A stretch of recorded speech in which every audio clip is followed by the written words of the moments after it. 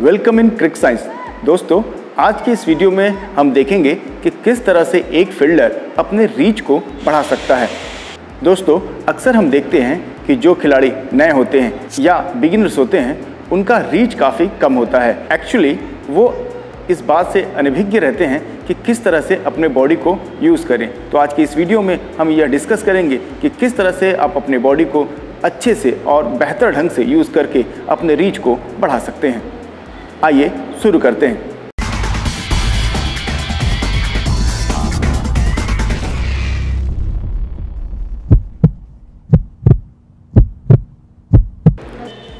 दोस्तों जनरली हम जब स्टांस में खड़े होते हैं तो हमारे दोनों टो आगे की ओर होती है।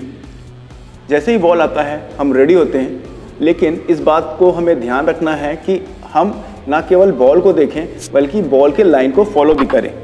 सपोज़ ये आपका स्टांस है, अब बॉल आपके राइट साइड तकरीबन डेढ़ दो फीट दूर आ रहा है।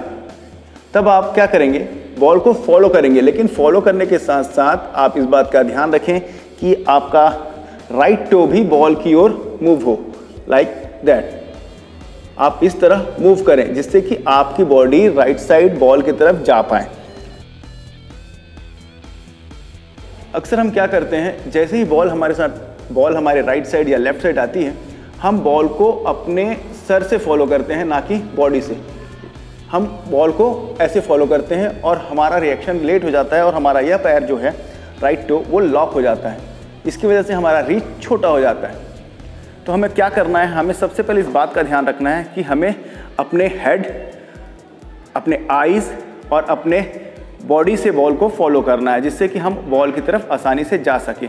इसमें सबसे ज़्यादा इंपॉर्टेंट है आपके पैर का टो बॉल अगर आपके राइट साइड आ रहा है तो आपका राइट टो उस ओर होना चाहिए। अगर बॉल आपके लेफ़्ट साइड आ रहा है तो आपके लेफ़्ट साइड टो होना चाहिए।